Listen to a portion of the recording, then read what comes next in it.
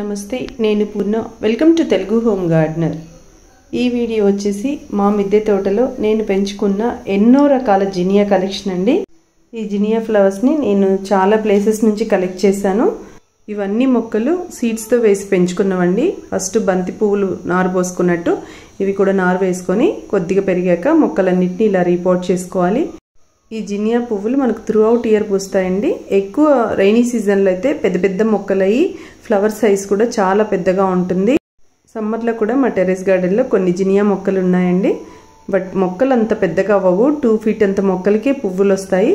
Flower size కూడా మనకు రైనీలో వచ్చినంత సైజ్ కాదు చిన్నగా వస్తుంది. ఇవి డ్వార్ఫ్ జినియాస్ అంటారు. కొన్ని రకాల జినియా సీడ్స్ని యుఎస్ నుంచి కూడా తెప్పించుకున్నానండి. ఈ ఫ్లవర్ ఒక్కసారి పూస్తే ఒక టెన్ డేస్ వరకు ఫ్రెష్గా ఉంటుంది. తొందరగా వాడిపోయే పువ్వు కాదు. మనకు సీడ్స్ కావాలి అనుకుంటే మొక్క మీదే ఫ్లవర్ డ్రై అవ్వాలి. ఇలా ఫ్రెష్గా ఉన్న పువ్వుల్ని తెంపేసి ఎండపెడితే దానికి సీడ్ ఫామ్ అయి ఉండదండి. మొక్క మీద కంప్లీట్గా ఎండిపోతేనే వీటికి సీడ్స్ అనేవి ఉంటాయి.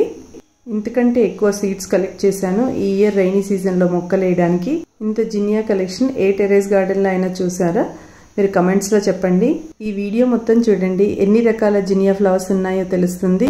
మీరు ఇన్ కేస్ కౌంట్ చేయగలిగితే కమెంట్స్లో నాకు చెప్పండి ఎన్ని రకాల జినియాలు ఉన్నాయో. నేనైతే ఈ జినియా కలర్స్ని కౌంట్ చేయలేకపోతున్నాను. మీరు ఇన్ కేస్ చేయగలిగితే కమెంట్స్లో చెప్పండి.